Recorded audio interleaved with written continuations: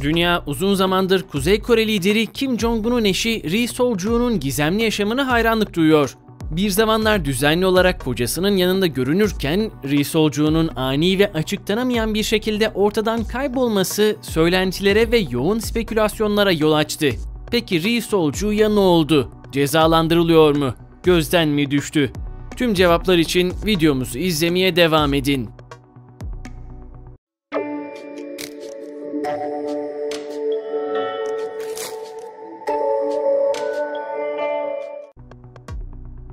Gelin önce Ri Sol-ju ile Kim Jong-un'un evliliklerine yakından bakalım.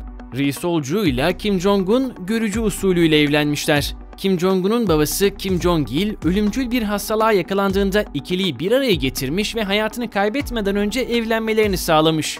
Evlendiğinde ise Ri Sol-ju adını değiştirmek zorunda kalmış. Evet, yanlış duymuyorsunuz. Ri Sol-ju evlendiğinde sadece soyadını değil, adını da değiştirmiş. Tüm bunlar yetmiyormuş gibi First Lady evlendikten sonra ailesini görmemeye başlamış. Öğretmen bir babayla jinekolog bir annenin kızı olan Ri Solcu ailesini pek göremiyor. Çünkü Kuzey Kore First Lady'si izole bir hayat yaşıyor. Ri Solcu bunu hayatının her alanında hissediyor. Dünya genelinde birçok First Lady'nin aksine Ri Solcu kendi başına kameraların karşısına hatta dışarıya bile çıkamıyor. Her zaman kocasının yanında gördüğümüz Ri'yi yalnız görmek neredeyse imkansız.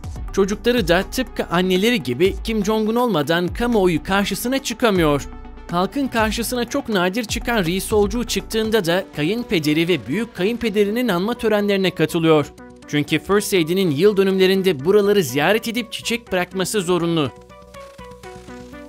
Kuzey Kore'de First Lady eşinin imajının bir parçası olarak görev yapıyor. Kim Jong-un insanların kendini ılımlı ve ileriye dönük birisi olarak tanımalarını istiyor.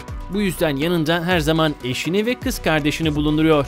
Kız kardeşi geleneksel kıyafetler giyerek ve ülke politikalarına yardımcı olarak Kim'in muhafazakar tarafını yansıtıyor. Eşi ise daha modern kıyafetler giyerek Kim'in ileriye dönük tarafını yansıtmaya çalışıyor.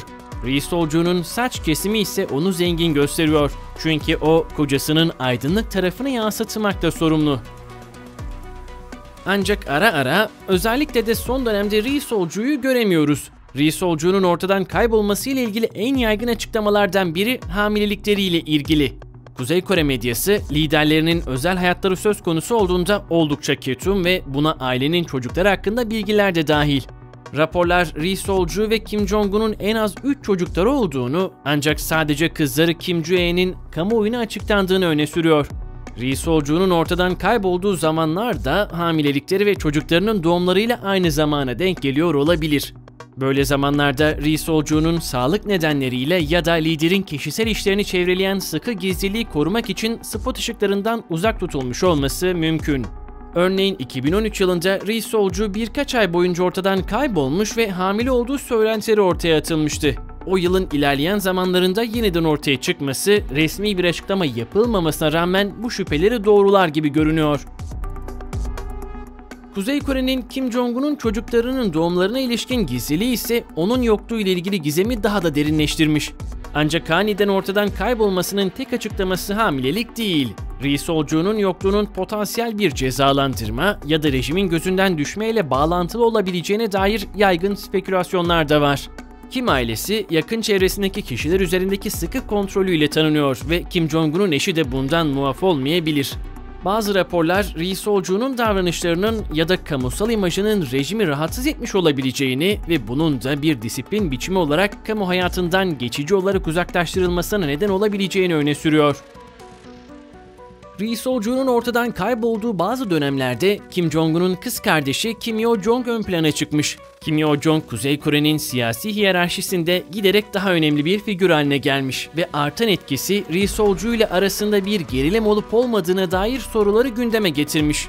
Kim Jong-un'un kız kardeşi olarak Kim Yo-jong, rejim içinde benzersiz bir konuma sahip. Kardeşinin en yakın danışmanlarından biri olarak tanımlanıyor. Bazı gözlemciler Kim Yo-jong'un iktidardaki yükselişinin Ri Sol-ju'yu gölgede bırakarak kamusal rolünün azalmasına neden olabileceğini düşünüyor. Kim Yo-jong'un özellikle Ri Sol-ju'nun yokluğunda kamuya açık etkinliklerdeki iddialı varlığı, Kuzey Kore liderliği içindeki güç dengesi hakkında sorulara yol açmış. Kim Yo-jong geleneksel olarak First Lady ile ilişkilendirilen görevlerin daha fazlasını mı üstleniyor? Veya Ri Solcu, Kim Jong-un'un kız kardeşi ön plana çıksın diye mi gözden kayboldu? Bu sorular elbette cevapsız. Rejim, liderin kişisel dinamikler hakkında çok az bilgi verdiği için bu sorular cevapsız kalmaktadır. Kim Yo-jong'un yanı sıra diğer figürler de Ri Solcu'nun yokluğunu fırsat bilip ön plana çıkmışlar.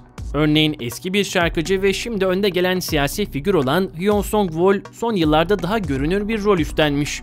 Hyun'un öne çıkması Kim Jong-un'la daha yakın kişisel ilişkiye sahip olabileceği, hatta belki de Ri Solcu ile bir rekabete yol açabileceği söylentilerine körüklemiştir. Solcu'nun nerede olduğunu merak edense sadece küresel medya değil, dünyanın dört bir yanındaki istihbarat teşkilatları da onun ortadan kayboluşunu yakından takip ediyor.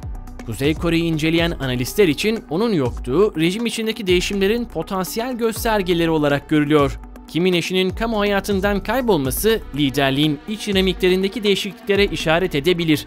Hatta daha geniş bir istikrarsızlığa işaret edebilir. Bir yıldan fazla süredir ortalıkta gözükmemesi medyanın ilgisini tekrardan çekmiş. Bazıları onun kalıcı olarak gözden çıkarılıp çıkarılmadığını merak ederken, diğerleri güvenliği ya da çocuklarını korumak için yurt dışına gönderilmiş olabileceği yönünde spekülasyonları ortaya atmış. Ancak her kayboluşun ardından Kim Jong-un'un eşinin yeniden ortaya çıkması gizemi daha da artırıyor. Her zaman aynı sakin tavrıyla geri dönüyor ve sanki olağan dışı bir şey olmamış gibi resmi etkinliklere katılıyor. Yine de nereye gittiği ve bu yokluklar sırasında ne olduğu sorusu dünyanın dört bir yanındaki insanların zihninde kalıyor. İster hamilelikle ilgili olsun, aile işleri, ceza veya tamamen başka bir şey, Ri Solcu'nun ortadan kaybolması Kuzey Kore'nin yönetici ailesi içindeki yaşamın birçok muammasından biri olmaya devam ediyor. Peki siz Ri Solcu'nun ortadan kayboluşları ile ilgili ne düşünüyorsunuz? Sizce bunun nedeni ne? Cevaplarınızı ve görüşlerinizi yorumlar kısmından yazmayı unutmayın.